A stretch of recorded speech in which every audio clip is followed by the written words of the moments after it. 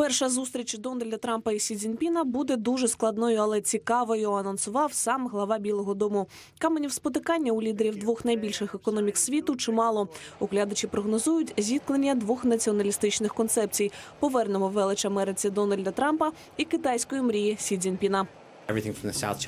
Усе починаючи від південно-китайського моря і торгівлі, закінчуючи північною Кореєю. Треба піднімати питання національної та економічної безпеки. Під час передвиборчої кампанії Дональд Трамп критикував економічні відносини двох країн, заявляючи, що Китай гвалтує американську економіку і вбиває робочі місця своїми цінами на експортовані товари. Американський президент погрожував ввести додаткові 45% мита на китайські товари, які ввозять до Америки.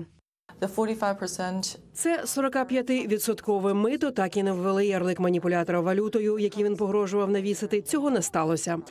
Щоб пом'якшити ці гострі кути, до США китайська делегація везе компромісні пропозиції. Китай і надалі збільшуватиме внутрішній попит, а також попит на товари і послуги, вироблені за кордоном, включаючи США. Останніми роками китайські інвестиції в американську економіку дуже зросли. Інше ключове для Вашингтона питання Північна Корея. Від Пекіна вимагатимуть вирішити проблему нарощування ядерного потенціалу Пхеньяна, що загрожує безпеці США та їхніх союзників. Зокрема, у світлі останнього запуску північно-корейської балістичної ракети у напрямку Японії. Більше як 25 років США чують від Китаю заяви про занепокоєння щодо північної Кореї, але реальних дій ми не бачили. Я думаю, ця адміністрація хоче побачити ці дії і тиснутиме на них. Революційних заяв від зустрічі очікувати не варто, кажуть оглядачі. Головна мета лідерів познайомитись і окреслити майбутню співпрацю. Очевидно, президент Сі Цзіньпінь хоче започаткувати робочі відносини із президентом Трампом. Тож сторони можуть розглянути чимало питань двостороннього порядку денного, і для обох країн важливі сильні міжособистісні і робочі відносини. I foresee that Я передбачаю, що китайці відправлять всі разом з цілим набором подарунків, зокрема інвестиції в інфраструктуру США та допомогу президенту Трампу створити робочі місця, як він обіцяв виборцям.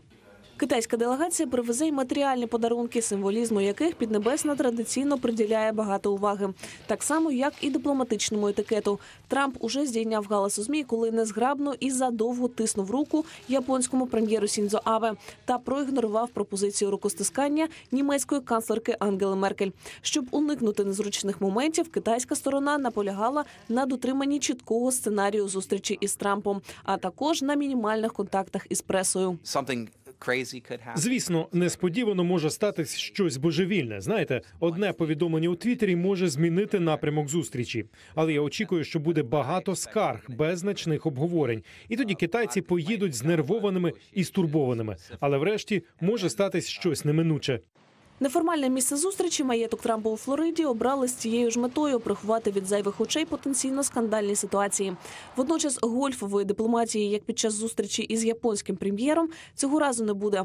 У рамках боротьби з корупцією при владі закочувати м'ячі в лунки представникам компартії Китаю заборонено. Марія Прус, Голос Америки.